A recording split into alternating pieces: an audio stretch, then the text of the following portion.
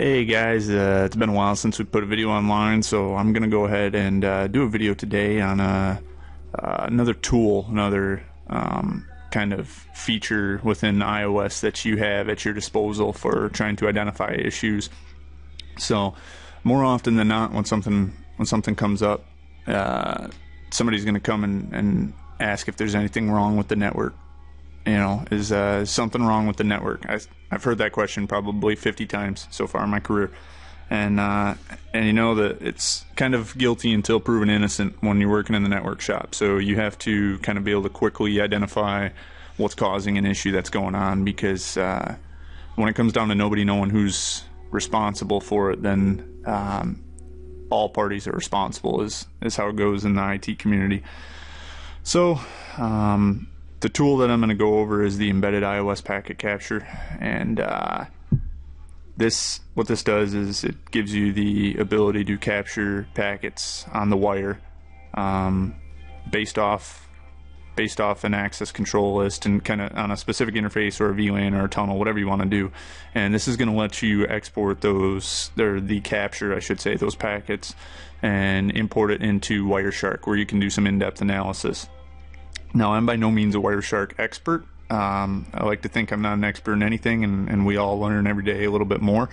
So I'm gonna uh, I'm gonna give you a resource in the description of this video uh, for a a guy who does pretty good videos with Wireshark. Um, I just watched some of his videos last night, and he definitely puts some time and effort into them, and he's pretty good at what he does. So I learned a little bit from him, and uh, I'm hoping he keeps releasing new videos. They're they're pretty good real world examples too on how to use Wireshark. So um, it's good stuff.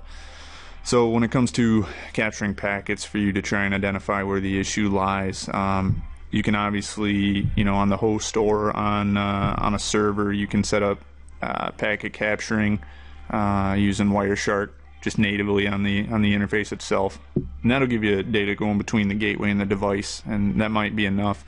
Um, but uh, you don't always have access to these devices, even remotely. It can be tricky. Plus, you have to install software.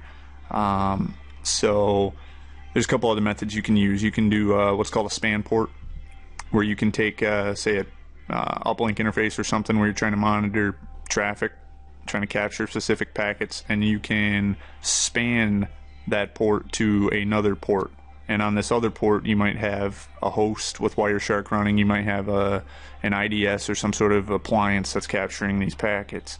Um, and uh, so that's pretty straightforward. We may go over it in a video sometime because there's a little bit more in depth to it. If you want to span um, basically duplicated traffic to another port that's not on the same device, you have to do what's called remote span, and you have to set up a essentially a VLAN and run it through your whole network to where uh, where the endpoint is, where you're trying to send those packets. So a little more complex, and we might cover that in a later video, like I said. Um, so spanning, basically duplicating the uh, traffic, sending it out another port, that's an option. You also have the um, the uh, the ability to use. This is a little different. You can use ACLs on uh, IOS, and what you can do is you can set up an ACL for specific traffic you're trying to see if it's coming through the network, and uh, you can watch your ACL hit counters and see if uh, if it's catching matches for that traffic. That'll let you know if you're you're definitely not or you are seeing the traffic. Um, may identify if a firewall is blocking it if you know you're sending the traffic. Um, it's just another kind of resource you have, as well as speaking of firewalls, um, the the ASDM packet capture. Uh, whoops, bring that back. Packet capture capability. Um, I don't have I don't have a uh, ASA in front of me, um, and I need to get the uh, the image put into to the new GNS3 version one because I believe that you can run those, but uh, ASDM packet capture. Um, trying to find a setup window. There we go. So, ah, it's kind of bad resolution, but you get the idea. So you can go into wizards and uh, the packet capture wizard and, and, on the Cisco firewall from the ASDM, what you can do is specify source, uh, you know, host network, wildcard bits, destination, same thing. Or you can use an ACL. I think you can only use an ACL on the uh, PIX firewalls, if I remember right. The uh, the modules, they're not a full blown ASA. And uh, what this will let you do is uh, you know, specify ingress egress interfaces and capture all traffic coming through the the firewall. So that's good. Um, very good tool, and it'll uh, you know you can put it on a on a buffer and it'll keep showing you new traffic coming through. Um, and uh, the only downfall is you don't always have firewalls everywhere on your network, right? So um, that leads us to the actual tool that we are covering in the video today, uh, which is the embedded IOS capture. So this is going to let us, uh, as I've said before, capture on a specific interface or VLAN or tunnel um, based off an ACL. So let's go ahead and get right into it. Um, we don't exactly have an issue that we're going to capture today in specific, but we'll capture some traffic, some pings, and maybe some TFTP or something, and um, and uh, we'll bring it up in Wireshark so you can kind of see what it looks like. I'm just I want to make sure everyone's familiar with the commands and how it all works. So so what we've got going on here um, in GNS3 is I've got uh, the cloud that you saw there. Let me bring this back for you to be able to see. Um, these are very minimal configs on these devices, so we're going to see errors pop up like this duplex mismatch. It's fine. We should be able to run with it for what we're doing. Um, this cloud right here is actually connected to one of my NICs on this uh, lab workstation I'm working on now. So that's going to let us TFTP the capture file over and then open it on the actual uh, operating system I'm on. Um, you can look up online how to do this. It's pretty straightforward. Um, there's uh, basically you go in here and you pick which interface. Now there's um, resources that say the best thing to do is to create a loopback interface, and, and you can read how to do that online. But it's it's it gives you the ability to integrate services from your actual real world network into GNS3 networks, which is good. So let's go ahead and get this set up. What we're going to do is we're going to capture on this link right here. It's the F00 port on router 4, 192.168.0.1. Um, we're going to capture some traffic there and then send it over to our TFTP server. So uh, first thing you got to do is set up an IP access list. Uh, we're going to do extended, we call it cap. Um, we're going to permit IP any any. Now it doesn't matter what you do here. I mean it does. What what you want to do is kind of uh, uh, set up an ACL that uh, will capture what you're trying to see, obviously. And so you can do it specific to IPs, ports, um, anything an ACL is capable of, obviously, you can you can set it up for this capture. You just want to you want to make sure you're not too granular with it that you maybe miss content that could be involved in the issue.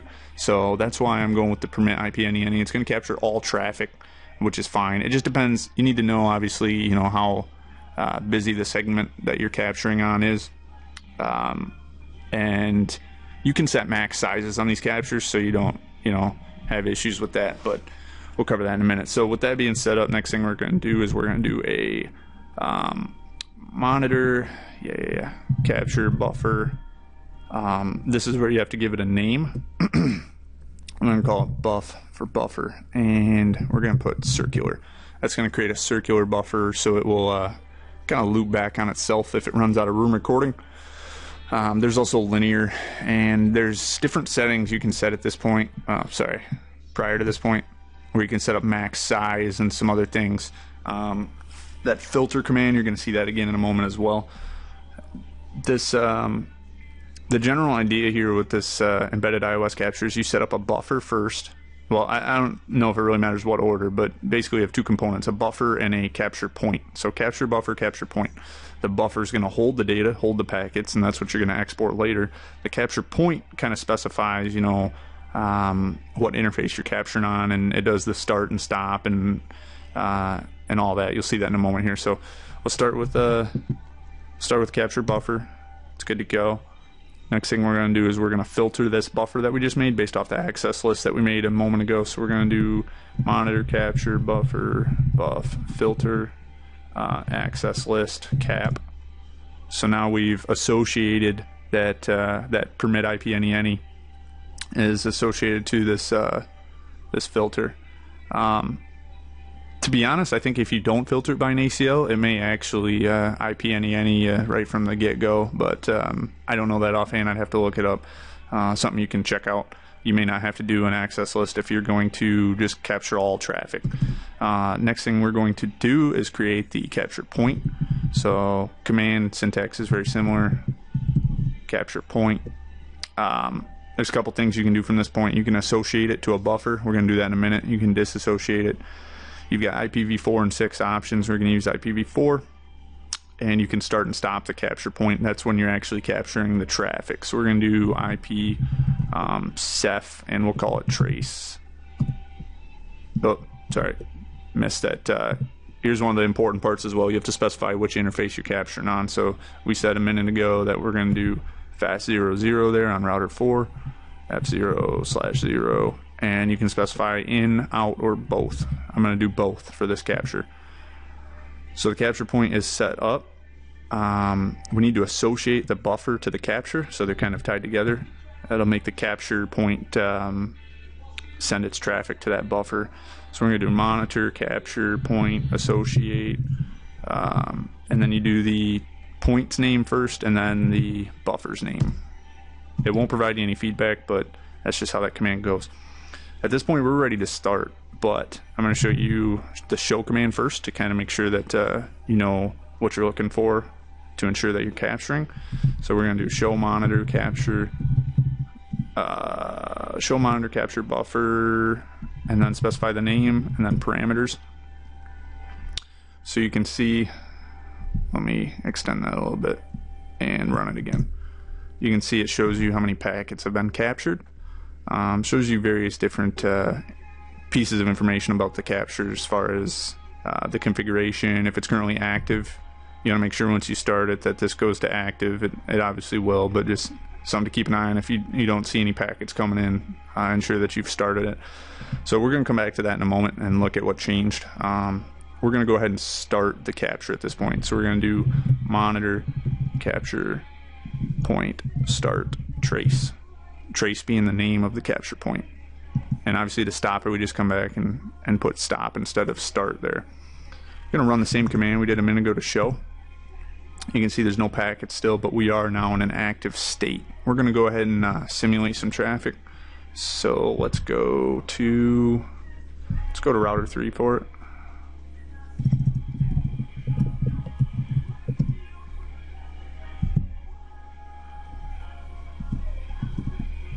Suppose I could just repeat.